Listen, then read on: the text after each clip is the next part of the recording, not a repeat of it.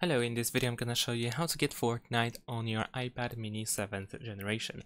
In order to install Fortnite on your iPad mini, you want to open Safari browser for instance and go to fortnite.com. Once you enter this address, over here you should be able to find the install button.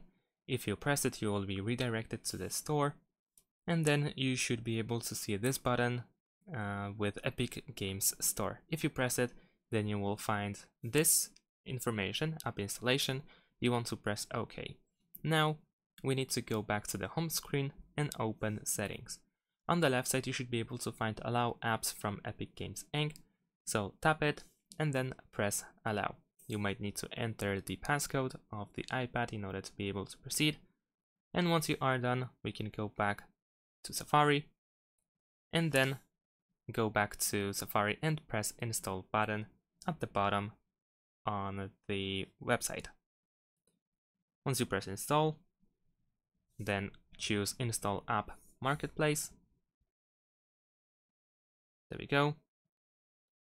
And now we need to open the Epic Games Store on our home screen and we will need to find Fortnite. So once you go to the home screen, you should be able to find Epic Games. If you open it, then of course we need to accept. We should be able to find Fortnite, press install, and then choose to install app.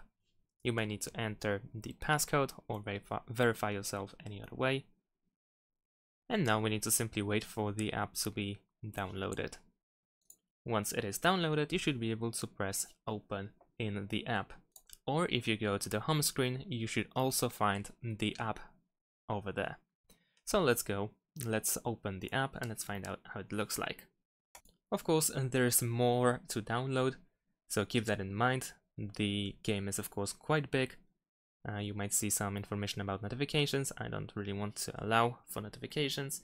So now just wait for the game to be downloaded and you should be able to play it once it is done. And that's pretty much it. Thanks for watching, leave a like and subscribe to my channel and see you in my next videos. Bye!